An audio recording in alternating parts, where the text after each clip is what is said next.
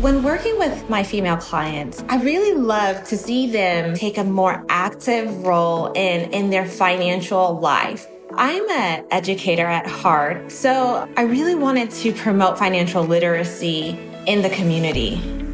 It was 1960 when women were first able to even have their own bank account. That means it required a woman to be married before she could really have the leverage and have that freedom in her life to do what she chose to do, to have her voice.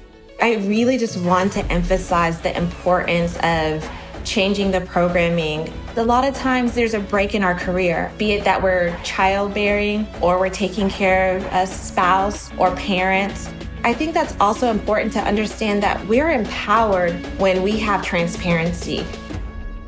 What we don't know can hurt us. Financial independence is leverage. When you take a hold of your finances, you are making generational impacts.